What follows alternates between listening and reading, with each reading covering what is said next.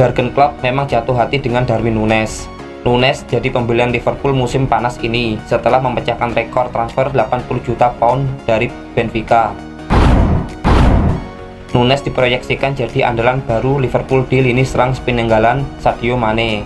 Kedatangan Nunes diharapkan bisa membuat Liverpool lebih tajam, apalagi musim lalu Nunes sudah membuktikan kualitasnya sebagai penyerang di depan Liverpool langsung.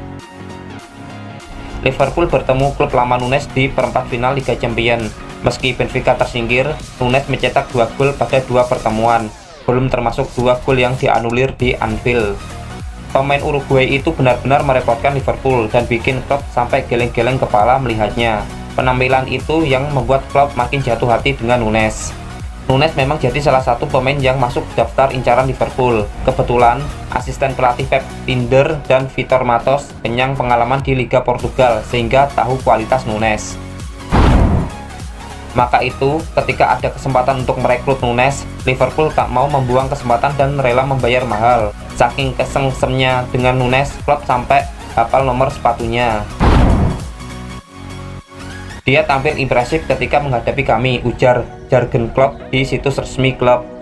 Ketika Anda bakal menghadapi Benfica, Anda pasti sudah tahu ukuran sepatunya.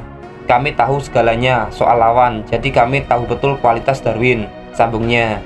Belum tahu apakah dia bisa bermain di liga pertama setelah kembali dari liburan? Memang betul, dia bagus sekali, tapi Anda akan lebih terkesan ketika melihatnya langsung. Dia begitu kuat dan punya perpaduan antara teknik, hasrat pergerakannya pintar, dan bisa merepotkan lawan. Kami semua kesengsem dengannya di dua laga. Benar-benar pemain Latin yang begitu agresif, bagus kan? Akankah Darwin Nunes akan bersinar bersama Liverpool di musim depan?